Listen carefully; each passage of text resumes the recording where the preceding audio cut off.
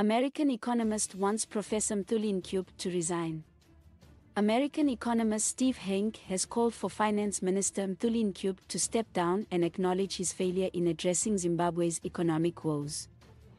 Hanke's remarks come in light of Zimbabwe's soaring inflation rate, which currently stands at a staggering 1,170%, surpassing second-placed Argentina by a significant margin.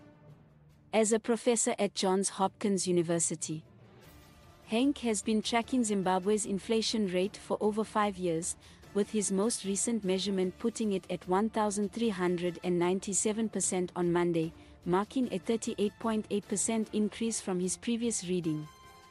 Despite being a graduate of the University of Cambridge, Ncube has been unable to curb the depreciation of Zimbabwe's currency, which now trades at ZW $18,000 per 1 US dollar on the parallel market.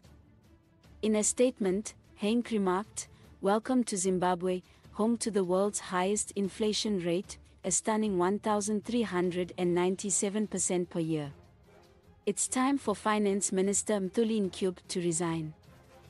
The Zimbabwe dollar has failed to function effectively as a store of value or medium of exchange, leading to a significant shift towards the use of US dollars in most internal transactions within the country. Informal traders, particularly tuck shops, which play a crucial role in providing essential goods, no longer accept the local currency. The Zimbabwe dollar was reintroduced in 2019 to replace a multi-currency system that had previously stabilized the country's volatile economy. However, the system has faltered, with the government considering its removal in 2025.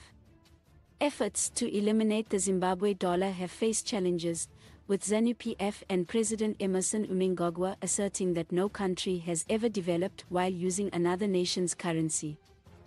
Mnangagwa has instead hinted at forthcoming policy changes aimed at halting the drastic devaluation of the currency. We shall soon be announcing the introduction of our structured currency.